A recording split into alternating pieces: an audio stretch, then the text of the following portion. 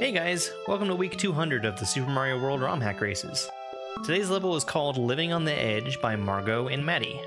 It's rated 5 for difficulty, and this race was kind of a big deal for a couple reasons. Margot has worked on four previous ROM hack race levels, and at the time this was released, uh, she had made four standalone ROM hacks.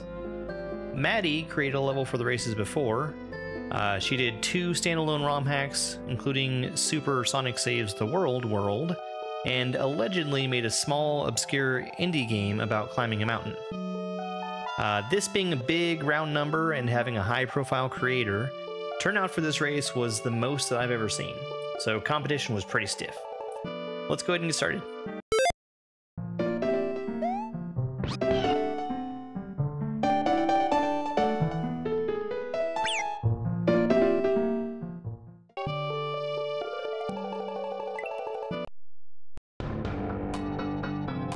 The Mushroom Kingdom justice system, Kaizo crimes are considered especially heinous. The dedicated players who complete these courses form an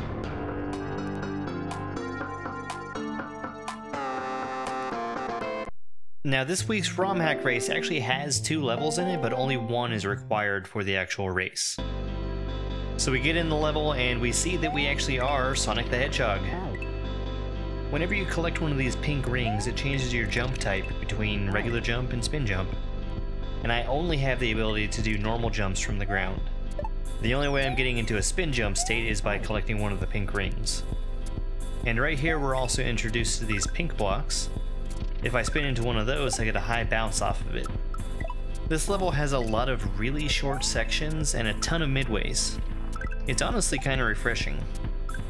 Now, there was actually an option at the very start to play without midways, but I think you'd have to be a little bit crazy to do that during a race. Now, I will go ahead and mention one thing. Those gray blocks with the kind of glowing eyes on them, those are death blocks. I don't really think that that's a very good graphic for a death block. I kept running into problems while I was playing this where I just couldn't read these as being death blocks. We'll also see this a lot with the pink blocks.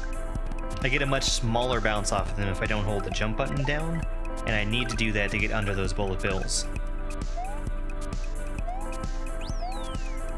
I like the little loop around you have to do there in order to go back to a regular jump to bounce off the bullet. And it's always pretty fun spinning through these bats. They just kind of sit still and let me use them to work my way down.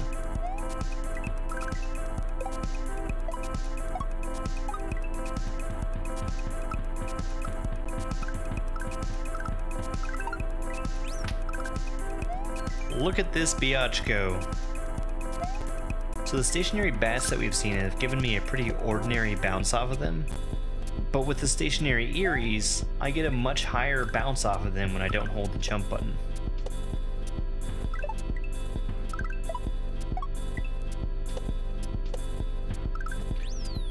So this section here is basically a bunch of order of operations puzzles. Need to make sure I grab the rings and bounce off the enemies in the right order, otherwise I just can't make it to where I need to be.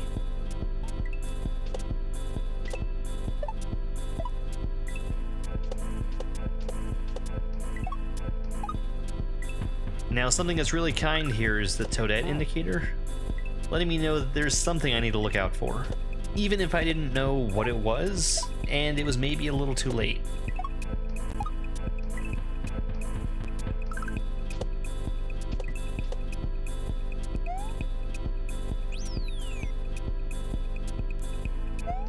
This section really doesn't have a whole lot that's new in it.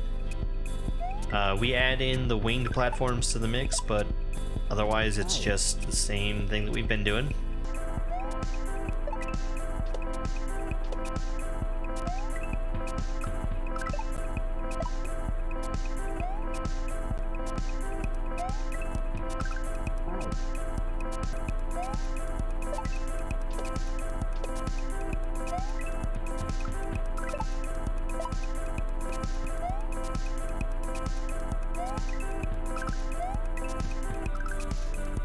Getting over here, we can see another new type of block up in the top right.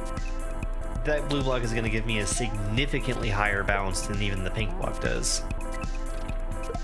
We've also gained P speed at the bottom so that we can actually make it all the way from the right side to the left side of the screen.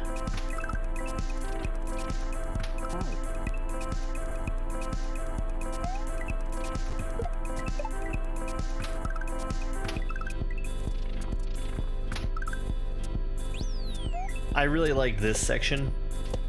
Now grabbing one ring is one state change. So when I'm swapping from an Eerie to another Eerie, I need an even number of rings. And whenever I need to change my jump type, I just need to collect an odd number.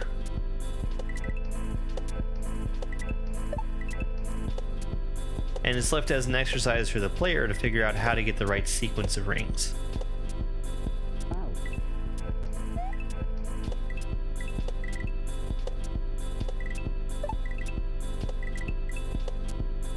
Now there's not always a warning when there's something you need to look out for. I was honestly pretty lucky that my reflexes were fast enough to grab that midway.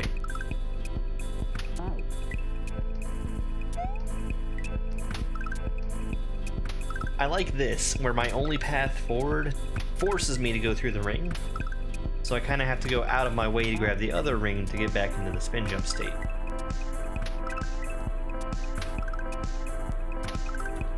Now we start falling down again here. Uh, to me, this level feels like it's massive. It's really wide and also really, really tall. I have no intention of becoming a martyr, you sons of bitches.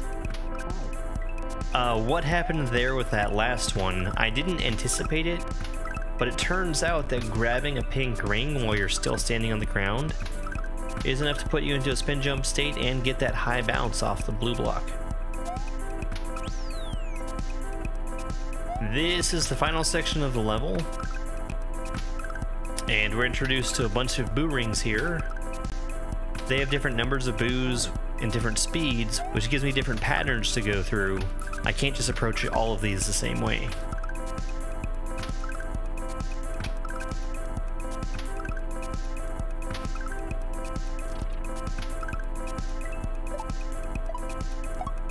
Here we've got another Toadette warning. I didn't actually hit it during the race, but there is a Kaizo block directly to Toadette's left.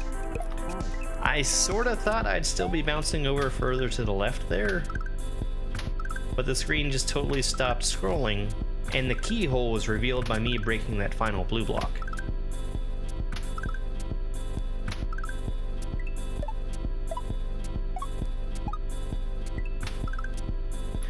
I'm making sure I'm hitting this blue block as far to the left as I can so I can swing over, grab the key, and come back to the keyhole. Now this was a milestone race. Between the round number and who made the level, we had a ton of racers this week.